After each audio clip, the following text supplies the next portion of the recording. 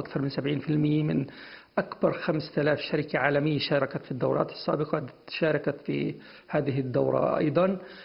بنتمنى إنه إحنا كفلسطين كمنتجات فلسطينية نقدر نشارك في الدورة القادمة اللي هي إن شاء الله في العام القادم وتكون هاي الجائحة انتهت من العالم واللي هي أصلا سيطرت عليها الصين.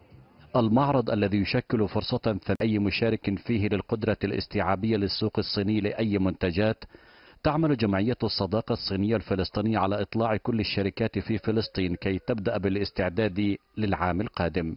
لأهمية هذا المعرض خاصة أنه يجمع الشركات الأجنبية في الواردات الأجنبية للصين. فهذا الإشي كان يعني له وقع كثير جدا علينا خاصة أنه إحنا في جمعية الصداقة كنا نعمل على عملية جمع تجار ومصنعين فلسطينيين يملكون منتجات من أجل إرسالها إلى الصين للمشاركة في هذا المعرض.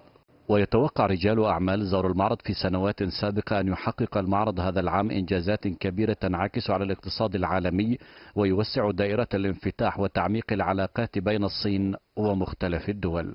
هم أقاموا المعرض بشكل كامل بل على العكس تم توسيعه بشكل أكبر. لاستقبال تكنولوجيات جديدة وبضائع جديدة ومنتجات جديدة يمكن عرضها في المعرض وهذا ما يحصل. توقعاتي أنه بنسبة 30-40% ارتفاع في في حركة التجارية داخل هذا المعرض السنة.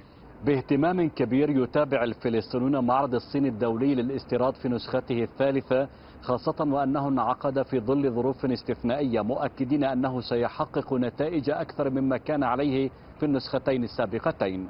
محمد الصانوري CGTN العربية. رام الله.